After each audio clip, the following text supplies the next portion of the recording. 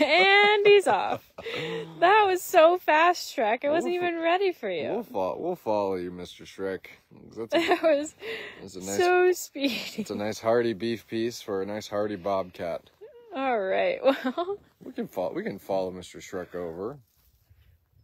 Okay. Olivia's Yeah, I know. If my fingers will work. Good morning, everyone. Happy Monday. Hello, welcome everyone. Happy Monday. You are tuned in live to the Wildcat Sanctuary. One of our rescued residents, well, one of our Shrek. Post that is if we can get some good cell phone service today. Welcome, Nancy Hodels here. Lois A is watching. Sherry V. Hey, Sherry. Carrie Miller. Carrie. Hey, Carrie. Does Good anybody- morning. Does anybody recognize this bobcat? This is a face, uh, a face that we don't often see on live posts. So I'm hoping that uh, there's some bobcat recognition happening in the comments. Lisa Wallstrom, good morning to you. Hey, Maria Vaughn. How's everyone doing? Hope it was a marvelous weekend. It's kind of warm and pleasant uh, here in Minnesota, and hope it was for everyone else, wherever they find themselves watching this post from. Hillary Boxall's watching. Hey, Hillary. Tanya Toner, a neighbor from Wisconsin.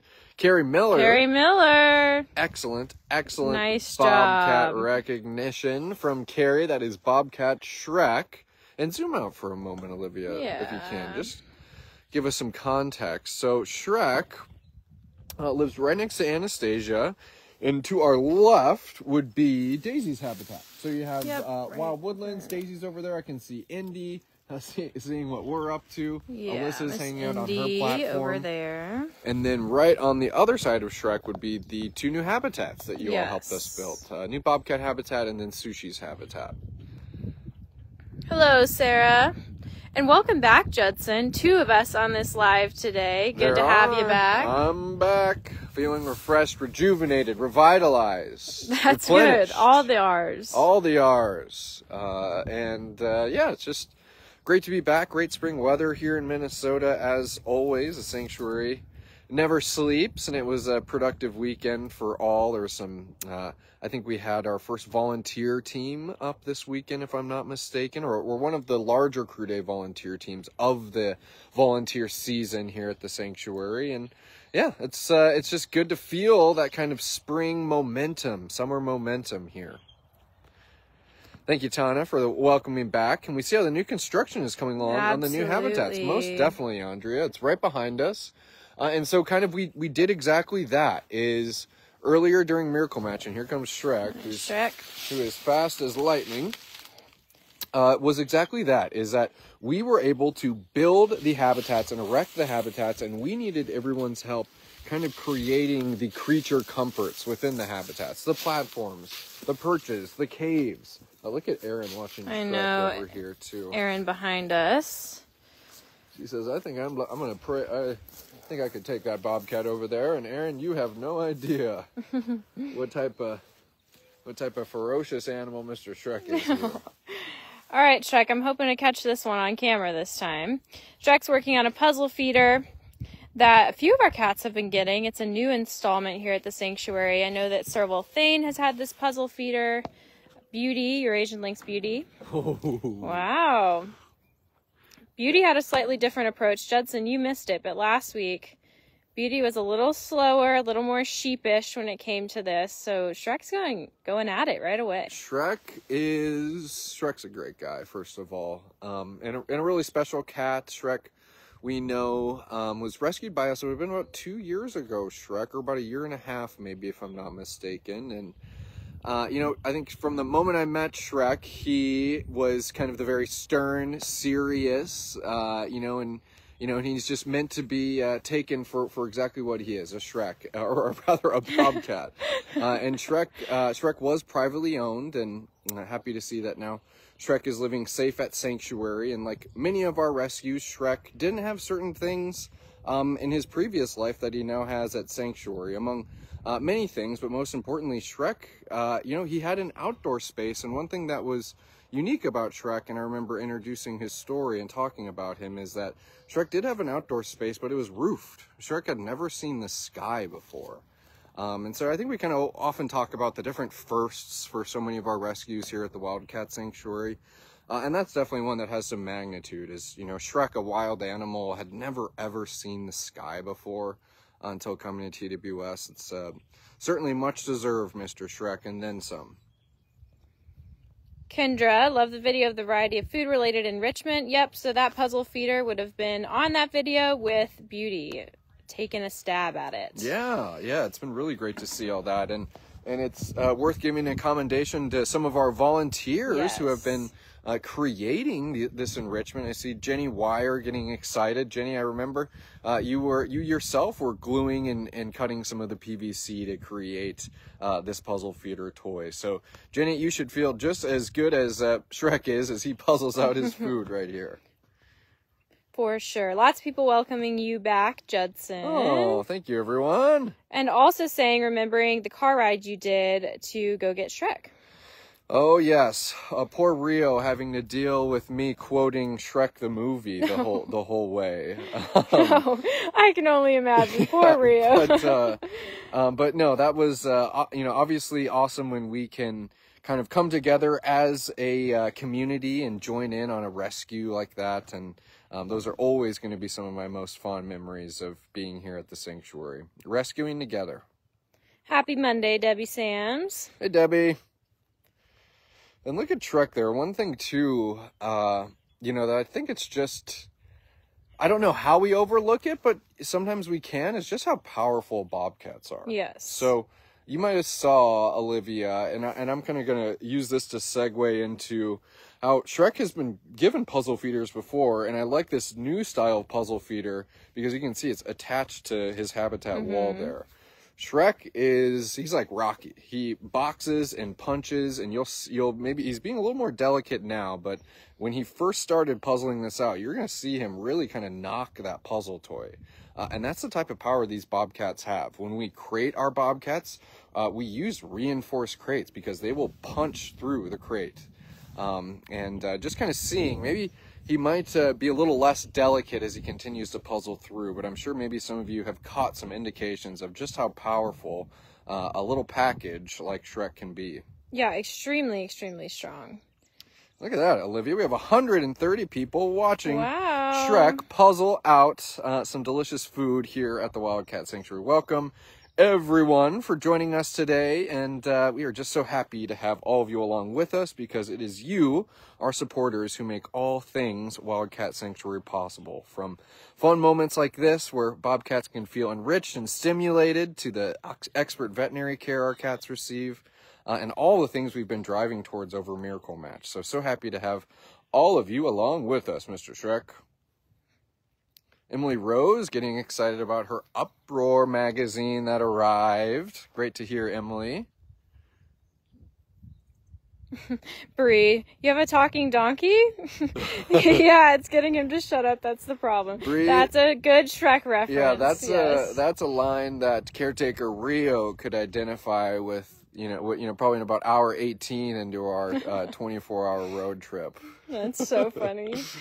I need to make a smaller version of that puzzle toy for my six fur kids. That's that would be a great idea, Rhonda. I think yeah. you could probably do this with paper towel tubes, but I love doing enrichment for my own animals, and I too get ideas from the caretakers at TWS. Yeah, that's a that's really cool to to think that. And you're right, Olivia. Paper towel tubes, uh, Dixie cups. Yeah, who knows? I think I think that there's a, a lot of options and and that's exactly the thing is you know why why do you go to uh you know a pet store to to get your domestic cat all the t- you know fun toys and laser pointers because you want to keep them stimulated. And uh, and that's the same you know the same idea with our rescued residents. And kind of cool to see it maybe on a more wildcat scale with the wood and the PVC yeah. And, uh, a little bit more, tougher. Yeah, yeah, exactly. A little more reinforced yes. Mr. Shrek it looks like he's worked his way through most of it. We saw a caretaker set this up. It wasn't his was it his full meal, Judson? Uh, he received a par- partial, partial meal, meal, in yeah. his bungalow, and then uh, and then partial uh, and then partially in uh, the puzzle feeder here. But you worked this out quickly, Shrek. You did. did yeah, there was a big beef piece in there. Yeah, you're the boss, Mister. You're the boss. And I love that pink nose you have, Shrek.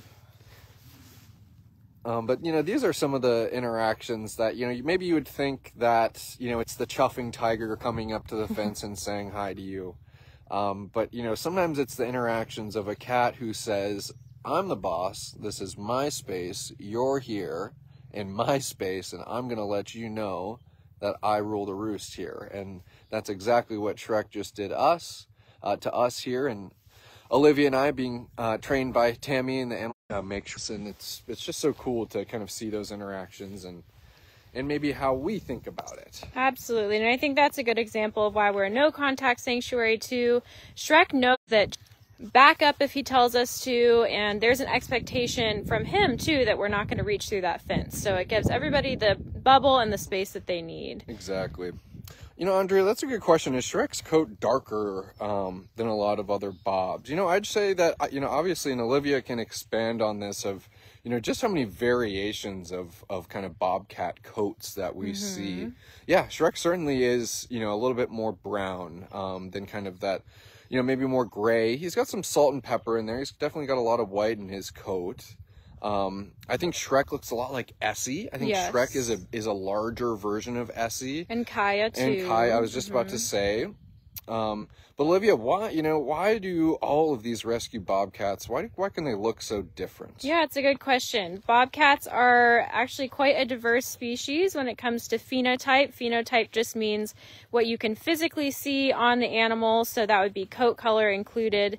And phenotype can vary with bobcats with location, so where they're from, especially wild-born bobcats.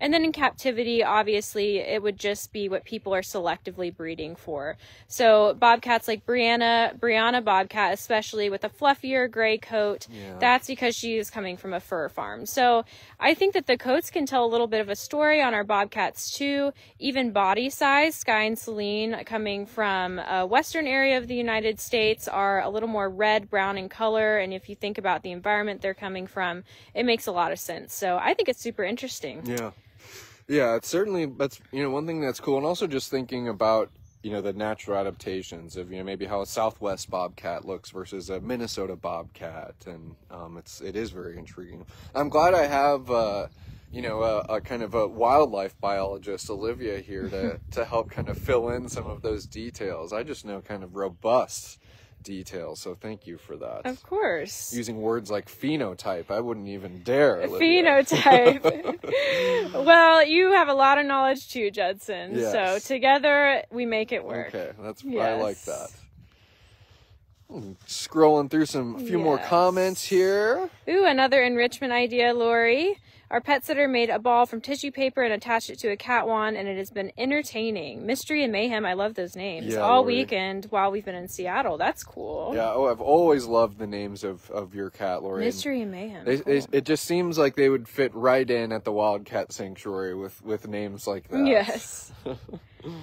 Judson, wasn't Fiona at the same time as Shrek? Tanya, uh, Tanya, that's correct. She was, and so, you know, I think that that's kind of what what's unique about the rescue world that we do is that um, we weren't able to make that public to everyone at the time, and then during the rescue, we were able to share the news that not only were Rio and I, the rescue crew that you knew that you were supporting on the road, that we were just one of two rescue crews uh, out that you were supporting. So that's exactly right. It would have been Fiona coming from Arizona, if I'm not mistaken. Uh, and then Mr. Shrek coming from the West Coast. And we um, were able to rendezvous with another accredited sanctuary in uh, Montana to get you all the way home, Mr. Shrekers.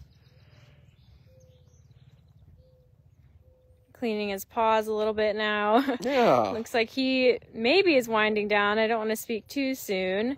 Well, and that's I think that's kind of cool, Olivia, is that he's got the easy ones, you know, where he's kind of Yes. sticking his head in there. He's able to get his his lips in there. Obviously, we're, we're we never want to create a puzzle feeder that's impossible for any of our cats, but we don't want to create a puzzle feeder that's just a gimme. So Shrek had uh, he had those bigger beef pieces. He has some uh, some canned uh, looks like some canned wet food kind of dispersed through some of those smaller holes. So Shrek is going to have uh, his paws full here and then some for a good majority of uh, the afternoon, and we love seeing that. Yeah, I like that you mentioned that, Judson. Enrichment is definitely designed for the cat to win. It's obviously a challenge, but we don't want to create frustration with our rescues. Yeah. Yeah, that's exactly right. And and and you know, I think it's just cool too to look at Shrek. I can only imagine how active that brain is right Yes. now. That flickering tail. Exactly. He's paw. He's kind of reaching his head. He's like, "Well, does this paw fit here? Well, my face fits here," and and it's just, it's doing exactly what we want it to do, and it's awesome, awesome. Yeah, that tail tells all. I see lots of comments about it, and he is focused and alert right now, working on this puzzle feeder. Well, and it also makes me happy. Shrek, who can be a little bit more sensitive about allowing people into his Bobcat bubble, that uh, he's letting us hang out here. I as he- know, it's really nice. as he puzzles away. And you kind of zoom out for a second, Olivia. Obviously, we're kind of been zoomed in on on Shrek, but he's got an awesome free roaming habitat. habitat, that indoor space with the bungalow there. We lots more space than just this corner that we're zoomed in on right now. He says, but but oh, the main event's right here, folks. Rosie, that's a good question. Is there a way to visit and interact with him? Not here at the Wildcat Sanctuary. We are a no contact facility, and that is for the safety of the cats and us, and to pay the cats the respect they deserve as the wild animals they are. I definitely encourage you to check out our website. We're also closed to the public. There's lots of cool things that we do as a sanctuary to keep this as wild at heart as possible for our rescued residents. Hey, Mr. Handsome. Ooh, grumbly handsome. He says, I rule the roost here. And since we still have about 130 people on this live, Yeah. we'll do another intro. Do you want to go check out uh, some other cats, yeah, Daisy's Judson? hanging out Yeah. across the way. I saw Lilac or Alyssa in a good spot, and, and yeah, I think that'd be great, Olivia. Well, lots of new people, so welcome. This is the Wildcat Sanctuary in Sandstone, Minnesota. We are a rescue and sanctuary to 140 plus wildcats in need. We were just with Bobcat Shrek, and this is Tigress Daisy. Hi, Daisy. So Shrek has quite Shrek has quite the neighbor. He's got a he's got a big old tiger on one side of him, and then of course uh, the lovely Anastasia. How are you going to stalk this? And Daisy? cheetahs. Well, Cheetahs, of tigers, and Anastasia. Cheetah right across the way. Yes. pretty Daisy. she says, "I haven't had my coffee yet." Yeah. I'm so. Is this when I'm supposed to chop here? Daisy. You're catching some sun rays She says, too. "Yeah, I am. I am." Going back a little bit, Faith, I like that example. Faith mentioning the video featuring Essie and her turkey is a true testament to the power and strength that you were talking about earlier, Judson. Exactly. You know, we have Daisy Tigress here, who is obviously very strong. Tigers are known as apex predators, but those bobcats too, they can pack a punch. That's exactly right. And so, Olivia, I think this is a kind of a good example. Right if we're kind of walking over here and seeing Miss Daisy, and and Daisy, she's a lovely tigress, and you might kind of, excuse me, you might kind of notice her kind of turning around like this, or she's reaching towards her back foot. And that's kind of the reality about a lot of the rescues here at the Wildcat Sanctuary, um, is that some of them suffer from um, from mental deficiencies from their former life. Daisy is one of our special needs tigers, and so she is going to have some type of neurological symptoms that you might see her spin every once in a while. You might see her reach for her back foot. Um, but Daisy's no worse for the wear. She's a happy and healthy tiger. But we do know that here at the Wildcat Sanctuary, our rescues are rescues, and that um, some of them might have physical deficiencies. And with Daisy being um, one of our neurologic ti- neurological tigers and having um, some of those mental deficiencies, we want to be aware of that. And it's definitely as we're looking at the comments here with all these new people. Um, it's worth understanding where our cats came from and why they are the way they are and how we help them um, based on uh, their individual needs, Miss Daisy. Yeah, and Daisy's background is that she was being exploited at a roadside zoo where she was not receiving medical care. I saw a comment just now of someone saying that their dream is to take a picture with a big cat like this, and I think Daisy is ultimately the perfect example of why that is not okay, something we advocate against, and Daisy Daisy's fate could have been a lot different if she wasn't here at Sanctuary. So again, I would direct you back to our website. I'm sure people will drop our educational links in the comments, but it's never a good idea to take a picture with a big cat and is actually now illegal in the United States. Exactly. Isn't that right, Miss Daisy? And we love you so much. You have no idea. Well, maybe you have some idea. Yes. Maria, we haven't seen Anastasia in a bit. I know, Maria, but Anastasia is true to her Anastasia self, and she likes to come out at night. She is one of those cats that still remains not the biggest fan of people, and we don't blame her. Although Tammy did mention on a Wildcat wrap up a few weeks ago that with this new bobcat habitat construction, which this will be a good segue to show the progress we've made, but that she. Daisy, I'm just gonna make sure that she's not in her cave, and maybe we Okay. Can see it from a Okay. distance. Um, but as I was saying, that Anastasia has been coming out and checking out the construction crew a little bit. But since we're talking about these new bobcat habitats, someone asked for an update on construction. We can go over here a little. They are very, very similar, identical actually, to the setup of Shrek Bobcats enclosure and Anastasia, who's connected in this block. This is the new habitats. You can see the walls have gone up, the roof is on. So, thank you, thank you, thank you to everyone who has been invested in this and supported this. It's come a very long way, and now it's set up to just be filled with all the amenities that we were talking about earlier the caves, the skywalks. So, I'm so, so excited, especially going into spring, to see how this fills out, and obviously excited for the cats that will benefit from this space.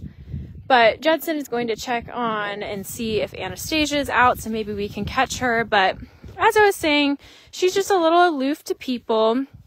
Anastasia's background is one of those where she was coming from private ownership, and yeah, she's not the biggest fan of us. She likes to check out her neighbors and her cat friends, like Daisy here. What's the verdict, Judson? Any Anastasia? No, Anastasia is doing her own thing. Okay, that's what I figured. That's okay. I'm glad you checked. Yes, yeah, that's a, it, and the caretakers are, are working over there as well, and I, I think it, it just would be best to give her the most space that we can. Yes, Carrie Anastasia is visible to the construction crew. Wow, yeah, that's what Ta- that's what we heard is that she likes to hang out with the construction crew, which is funny because she won't hang out with us. So Well, yeah, that works for well, and I- And I think it just goes to show of, you know, the construction crew. They were working a little late. yeah, that's they true. Were, that's uh, true. You know, they were here kind of past the normal human hours, and so it just goes to show things quiet down a little bit, and it goes a long way for Miss Anastasia.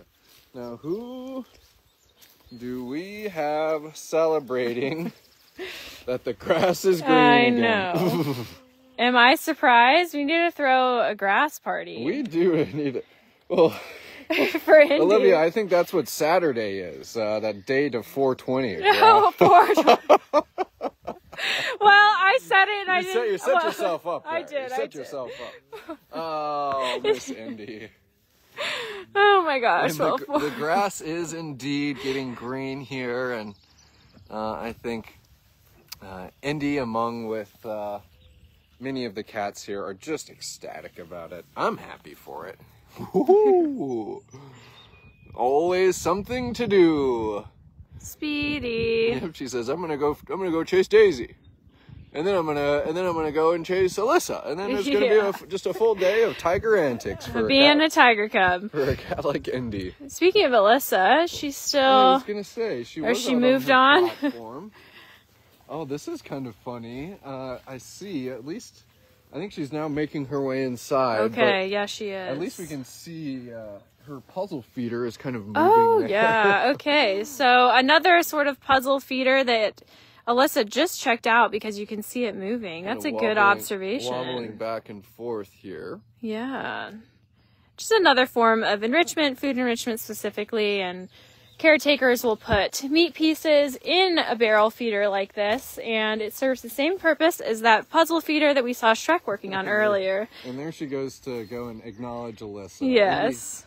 Indy, Indy's just uh, the the people's cat. She, Absolutely. she just is friends with everyone, and, and we're happy about that.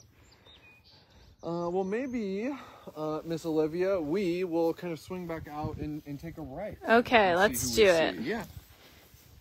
Are you by Dash? Chrissy says, Yes, we are. We won't head that way today, but if you go and check out our live from last week on Friday, I checked in with Dash for a while. So I definitely encourage you to go check that out. Tanya, love those chuff sounds. Me too. Oh, a chuff a day keeps the doctor away. Absolutely. They say. They say. as they say, Judson. That'd be a good. We need a shirt, Olivia. That's the next shirt. a know? chuff a day keeps the doctor away. Yeah. I like that idea, actually. There we go. All right. Maybe we can see if there's any cougars out and about. I did see Rainier earlier. I see somebody trying to get Aaron's attention over here. Looks like Tacoma. Tacoma. Aaron. All right, which way, Judson? Uh, Tacoma, we'll take a- Aaron. yeah, we'll Okay. take a right. We did briefly check in with Aaron earlier. Straight, you can see. Uh, you know, it's almost like the the, The UTV know. hadn't been pulled up to the building yet, but uh, uh, Alyssa, Daisy, Indy, they could uh, just smell the food They coming down from the prep room apparently. Um, but that's this is interesting. Little Tacoma kind of hanging out along this shared wall of Aaron's yard. Also dialed in on the UTV. Exactly. Wouldn't ex- wouldn't expect anything less from a handsome cougar. Your siblings were out and about. I'm Yeah. curious if maybe they settled down somewhere. Kelly, glad you caught our live. Kelly! Late is better than nothing. It's okay if you pop in late. Glad to have you, Kelly. Lots of people saying they like our t-shirt idea. Chuff a day keeps the doctor away. There we go. Yeah, look at that.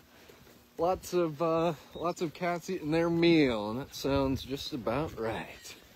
Maybe you see what the lazy tiger trio is up I to. think see a very sunny, sunny platform with a sunny tiger. yes, and look at the sky. The sky is beautiful. Yeah, birds are chirping, the grass is coming in. I commented to you, Judson, that bugs are out. Bugs Your are Bugs are out. Yeah. the bugs are out and uh, you know it comes you know one of the questions we get this time of year is well how you know what do you do if your cats get fleas or ticks uh, and very simply we are able to apply a kind of a topical preventative like you would use for your uh, dog at home for example like a Frontline essentially where's Olivia going? Uh, well, I was trying to. I was going to see if we could get his face. well Let's try. see. Let's. Yeah. Yeah, yeah. I want to see his handsome face. I was going to keep moving. All right, there we go There we Hey, better. Mr. Griffen. Oh no. There we go. There we go, Griffen. Thank you. I might disagree with you, Judson. We'll see. We'll see if he picks his head up. You're probably correct. And it's really cool to see, you know, Facebook waking up on the right side of the bed, so to speak. Uh, viewership numbers kind of averaging a little bit higher, and and everybody uh, maybe commenting if they're new to the sanctuary. And and you know, one thing, you know, not to be too cliche, but you know, as a sanctuary, and maybe, you know, for some of those who are on a rescue sanctuary. Um, we always invite uh, anyone who's wanting to learn more about us to engage and comment and ask a question. Uh, and myself and Olivia and our awesome supporters are always going to be there to kind of welcome you in an, an inviting and engaging way. Exactly. Never a dumb question. And if we miss your question ever in these lives, we will definitely circle back around and answer them later. So. Exactly. Lou Barrett says, Hello, TWS. Hey, Lou. Hope all is well. Julie Neville, so I'm barely catching the live. Uh, I have to watch the beginning uh, later. Hi, everyone. Glad to have you for, for what, you, what we got you with, Julie. Yes. Yeah, that's that's kind of right on. Zoom in a little bit. Uh, yeah. His head's falling off the bed here. We've all, you know, we've all been, We've been so there. tired that we wake up and we're halfway off the bed. But that is just how good the sun feels on that tiger coat. Yes. And zoom out just a little bit. And what is? Uh, I think it's Griffen. What is Griffen presiding over? What's right below him that would be an amazing in-ground pool. Exactly. And that is something if, you know, if, if we were to go into this indoor bedroom of, of the Tiger Trio and look and to see if they had a little calendar, they would be putting an X on every day until, Until it gets pool. to pool opening season. Uh, they Tiger pools are a hit, and uh, I'm just so happy that that's kind of one of the many offerings that our rescues get to enjoy. Yes, and I'll zoom out even a little bit more. Yeah. This beautiful free roaming habitat This face is very nice. All right, who's right? I think It's you were. Dimitri. It's Dimitri. I was right. Handsome Dimitri. I want to hear. I want to hear it, Judson. That I is- was right. Olivia was correct. That is Dimitri. My tiger IDing is you Uh-oh. know, decaying. I've, I've, you know, I took a few days off, Olivia, and I'm oh no. basically back to being an intern again. Well, you got to catch up, Judson. We're holding you accountable. yeah, yeah. Just kind of looking over my shoulder. Maybe we'll just quick and run and say hi to the Ukraine Pride, and I think we should. and we'll call that a beautiful spring live. Awesome. And before we go over there, we'll just show everyone what what kind of the the pace is for the Ukraine Pride. Taras, he says, I'm just laying back on my platform. I see two of the sisters, uh, one kind of hanging out in a, in a group of trees, the other one watching us very diligently, Olivia. hmm And uh, so I just, I always like kind of pointing that out there because we're going to walk over there. We know the Ukraine Lions, they're very social cats. They're going to come over and say hi to us. But it is cool, you know, before we. Internet's already kicking us. There we go. We won't stay for long, Lions. We just want to say hi. Nancy, haha, I love the competitive cat identification. Well, of course, Nancy. We have to see who's most on it for the day. Yeah, I think Oli- I think Olivia could make an, an admission about just how competitive of an individual she is. I am quite competitive and we just it makes it more interesting. It makes it more fun. Well, who is this, Judson? Don't mess it up. This is Stefania. okay. And uh and she is being I don't see a cat, so I don't know what you're talking I was gonna about. say yeah. she is being about as still as it comes and here comes her sister and i'm sure prada oh prada's under the platform back there i didn't see her well hello Hello.